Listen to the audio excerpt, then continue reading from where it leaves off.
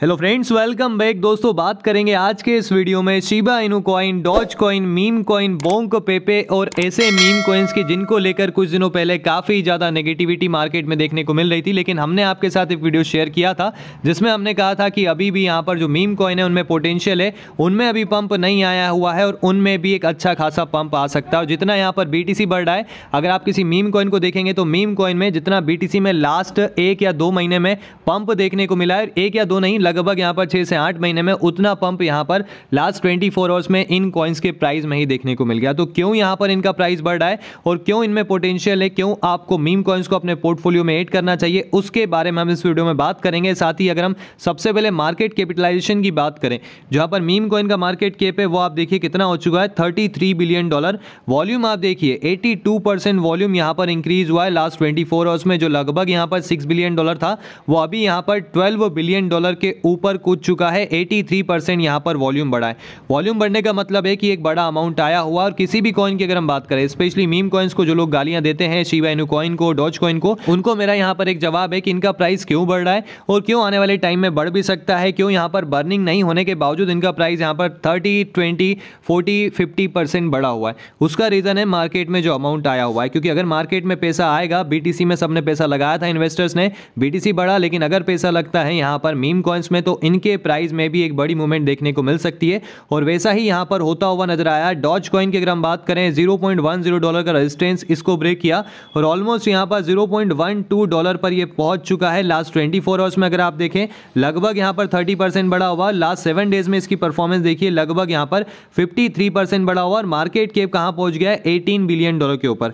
तो ये आपको हमने पहले भी सजेस्ट किया था कि यहाँ पर जो पेपे कॉइन है वो बढ़ रहा है अच्छा खासा बढ़ा था। लास्ट सेवन डेज़ में पेपे की परफॉर्मेंस देखिए वन परसेंट आई बटन पर आप वो वीडियो भी देख सकते हैं, जहाँ पर हमने आपसे कहा था कि पेपे रहा है, जिसको फॉलो कर सकते हैं डॉज शिबा बोंग क्योंकि डॉज और शिबा तो लीड करते हैं, अभी तक नहीं बढ़ रहे मतलब बढ़ सकते हैं। और बड़े इनका प्राइस आप देखिए, यहाँ पर प्राइस बढ़ गया है।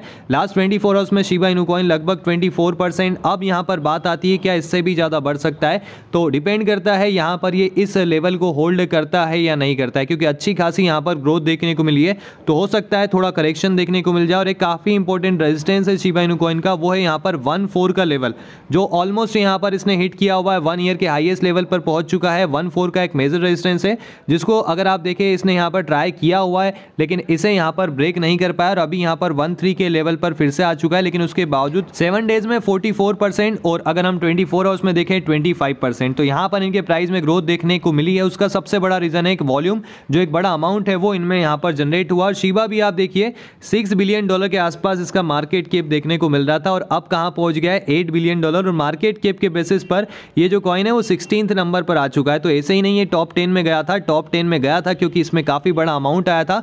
और अमाउंट आएगा तो ये आपको टॉप फिफ्टीन में और उसके बाद ट्वेल्व और टेन के अराउंड भी देखने को मिल सकता है। यहाँ पर कुछ ऐसे कॉइन्स जिनमें मूवमेंट देखने को नहीं मिली है। अगर हम बात करें ऐसे कॉइन्स की तो काफ़ी कम मीम कॉइन्स है, क्योंकि ज़्यादातर मीम कॉइन्स यहाँ पर अच्छे खासे बढ़ गए हैं तो आपको यहाँ पर इंतज़ार करना चाहिए। अगर आप एंट्री लेना चाहते हैं बोंक की परफॉर्मेंस देखिए सेवेंटी बढ़ा हुआ है लास्ट सेवन डेज़ में और लास्ट ट्वेंटी फोर आवर्स में लगभग ट्वेंटी थ्री और यहाँ पर अब ये थोड़े डाउन में आ रहे हैं, क्योंकि अगर हम लास्ट वन आवर का चार्ट देखें तो यहाँ पर थोड़ा रेड माहौल इनके प्राइजेस में देखने को मिल रहा है। फ्लोकी इनू लगभग लास्ट सेवन डेज़ में 68 परसेंट बढ़ चुका है। मीम कॉइन इसके अलावा बोन सीवा स्वेप भी आप देख सकते हैं। यहाँ पर हम बात करते हैं लगातार बोन टोकन की, जिसको मीम की कैटेगरी में डाला ज़रूर है, लेकिन फंडामेंटली स्ट्रॉन्ग कॉइन है। ट्वेंटी सिक्स परसेंट यहाँ पर ये भी बढ़ा हुआ है। बोन सीवा स्वेप अगर हम बात करें, अपने ऑल टाइम ऐसे नाइनटी एट परसेंट कम चल रहा है तो इस पर भी आपको फोकस करना चाहिए। साथ ही यहाँ पर सीओ क्यू इनू जिसके बारे में भी हमने काफ़ी सारे वीडियोज़ आपके साथ शेयर किए थे 43 परसेंट यहाँ पर ये बढ़ा हुआ है।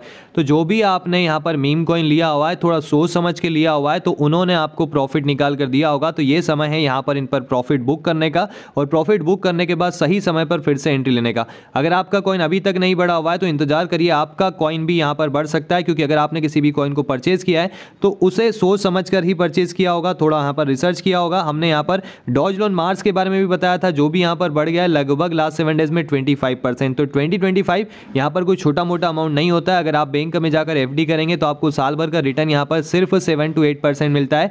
और ये कॉइन्स ने लास्ट ट्वेंटी फोर आवर्स में आपको लगभग थर्टी परसेंट यहाँ तक कि फिफ्टी से सिक्सटी परसेंट का प्रॉफिट निकाल कर दे दिया, जो आपको लगभग चार से पाँच सालों में मिलता। तो ये एक बड़ी बात है दोस्तों, इसी वजह से क्रिप्टो इंडस्ट्री को काफ़ी लोग यहाँ पर पसंद भी करते हैं और काफ़ी लोग इसमें इन्वेस्ट भी करते हैं। लेकिन इन्वेस्ट करने के लिए आप प्री प्लान रहिए, थोड़ा प्लानिंग के साथ इन्वेस्ट करेंगे तो आपको ये प्रॉफिट ज़रूर निकाल कर देगी इंडस्ट्री और इसी वजह से आने वाला जो बुल रन है वो काफ़ी बड़ा हो सकता है, जिसमें इन्वेस्टमेंट करने के लिए आपको अपने पोर्टफोलियो को डाइवर्सिफाई बनाना पड़ेगा। मतलब यहाँ पर आप मीम कॉइन्स को भी रखें, क्योंकि ये काफ़ी ज़्यादा ज़रूरी होंगे। साथ ही यहाँ पर फंडामेंटली स्ट्रॉन्ग कॉइन्स अलग अलग कैटेगरीज वाले कॉइन्स को भी आपको रखना चाहिए। लेयर वन प्रोटोकॉल मतलब लेयर वन पर बेस्ड हमने कॉइन्स आपके साथ शेयर भी किए लेयर टू पर बेस्ड कॉइन्स भी शेयर किए साथ ही कुछ और कॉइन्स जो फंडामेंटली काफ़ी स्ट्रॉन्ग है और कम प्राइस पर मिल रहे हैं। टेन से ट्वेंटी तक निकाल कर दे सकते हैं। उनसे रिलेटेड वीडियो भी हम आपके लिए लेकर आएँगे तो चैनल को सब्सक्राइब कर लें, साथ ही टेलीग्राम को भी ज्वाइन कर लें। दोस्तों, अब हम आपको मिलते हैं किसी और नई अपडेट के साथ। Thank you.